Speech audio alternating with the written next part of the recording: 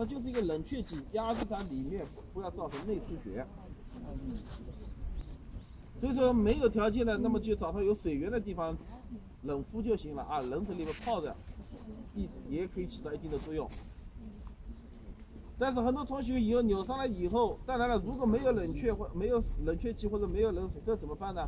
实在不行就拿一块布条，拿个绷带，加压包扎，压住了，它是不是也抑起到个抑制的作用？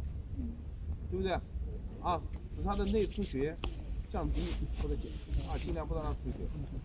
不然的话，一旦你及时处理不及时，就会这个肿很大。肿很大的话，你要消肿要消很长时间。啊，它里面的淤血就是要消肿。那么回去以后不要晚上马上一张狗皮膏药啪贴上去了，必须在四十八小时以后才可以贴上。我们讲，你回去以后，它这个毛细血管、血管它还没有处在完全闭合的状态。那么你再晚上回去，啪一张膏药以后，膏药是不是会发生？